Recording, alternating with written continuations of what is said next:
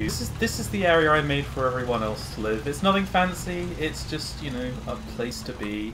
Um, you know, uh, doors were a bit hard to program in, but you know you can probably hear above you the whirring of turrets. They got cigarette machines and cola machines. Like you know, it's not bad. You know, there, there's there's like second places to be. There's all there's like there's boxes with nets on them, barrels. Like what more could you want? You know, fucking these ungrateful ingrates, and then you come to this fucking bitch in place I made for them. Fucking look, Jinx OP, this rain lets up soon. buff. I, I hope the rain lets up soon too. L- look at this fucking new Piltover.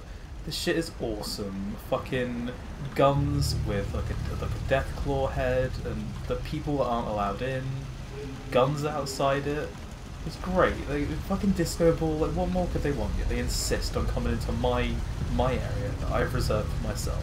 So I've set up this intricate mousetrap system, uh, which for some reason has from a robot. completely fucked up. Said it was from some place called Graygarden. I couldn't figure out exactly what it wanted, but Prest- well, Preston, may as well check it out. Pre- Prest- Preston, I'm busy.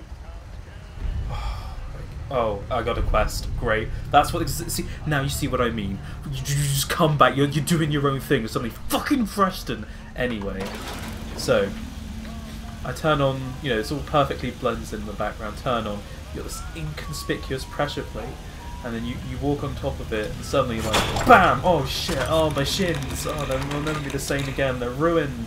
Oh, oh no! Oh, it happened again for real this time. Oh, ow! But then me, obviously, I noticed that. You know, on the, I put it there, so I just casually jump over it, and then shabam! I'm back in my.